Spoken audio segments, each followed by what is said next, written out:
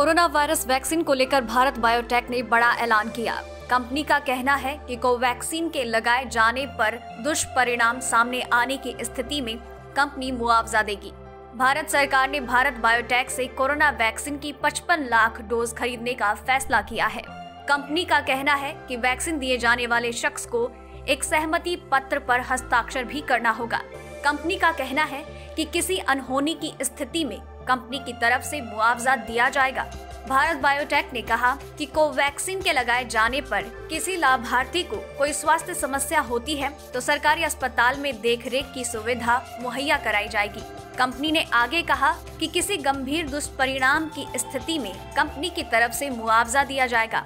ये मुआवजा तभी दिया जाएगा जब दुष्परिणाम का कारण वैक्सीनेशन ही होगा। बता दें कि पहले और दूसरे चरण के क्लिनिकल ट्रायल में कोवैक्सीन ने एंटीडोट्स उत्पन्न करने की क्षमता देखी गई थी।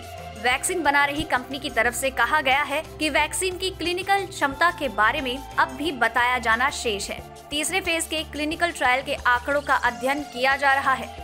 सहमति पत्र में इस बात का भी ज़िक्र है कि वैक्सीन लगाए जाने का मतलब ये बिल्कुल भी नहीं है कि लाभार्थी को अब कोरोना संबंधी प्रोटोकॉल का पालन नहीं करना है। इसलिए कोरोना संबंधी गाइडलाइंस का पालन करना अनिवार्य है। इंडस्ट्री के जानकारों का कहना है, क्लिनिकल ट्रायल के दौरान किसी अप्रिय घटना के लिए कंपनी जिम्मेदार होगी और कंपनी मुआवजा देगी।